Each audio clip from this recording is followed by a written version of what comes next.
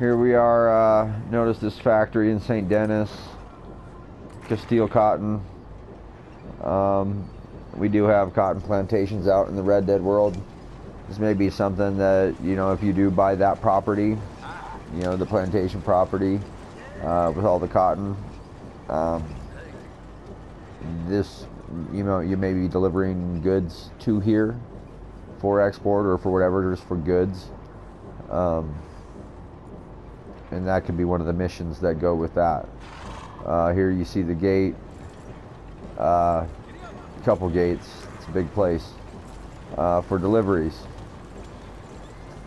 Uh, this might be one where you know multiple online players could be making deliveries at the same time.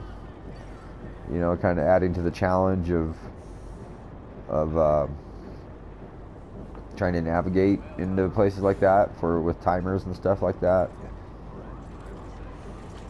Uh, that's just something I see. You know, the cotton being able to be a source of income for either cash or gold or both uh, in the world of Red Dead. And here's the factory where it gets processed.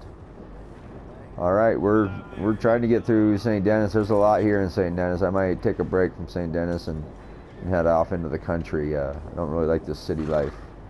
Um, but yeah, we're gonna go look for some some houses, some residents, something that might have uh, something you can tell where there's things attached to it. Uh, the one thing about St. Denis is everything's probably going to be really expensive here because you do have all your amenities. You got your tailor, your Photoshop, your Gus, you know, uh, your gunsmith, your butcher. Everything's right here. Um,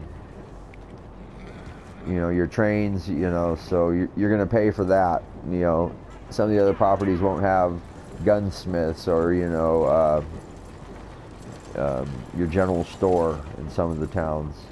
Uh, they don't have all of them you know definitely not a tailor in all of them um, or a photoshop or a gus. Um, but yeah we're gonna head on look for some houses. Uh, thanks for stopping in. Keep coming back. Don't forget to smash that subscribe button